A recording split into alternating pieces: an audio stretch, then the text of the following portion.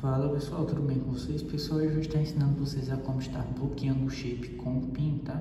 Você bloquear o seu chip aí com uma senha PIN. Bom, para estar tá fazendo isso, é bem simples, tá pessoal? Você vai vir aí nas suas configurações, tá? Vindo aqui nas suas configurações, você vai descer até a opçãozinha aqui de segurança e privacidade, tá?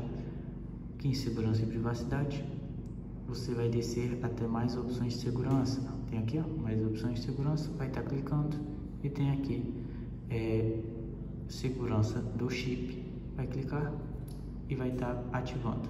Bom, vai aqui pedir uma senha PIN. Ah, mas eu não tenho essa senha PIN. É, provavelmente, caso você não tenha mudado, é, vai ser a senha padrão do, da sua operadora. Qual é a senha padrão da minha operadora? Você vai estar pesquisando na internet. No caso aqui a minha é claro. Eu vou estar utilizando 36. Opa, 36, 36.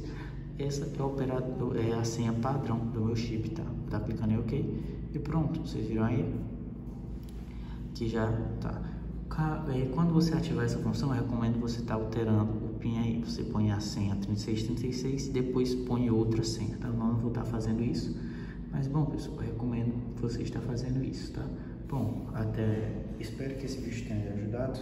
Até o próximo vídeo. Tchau.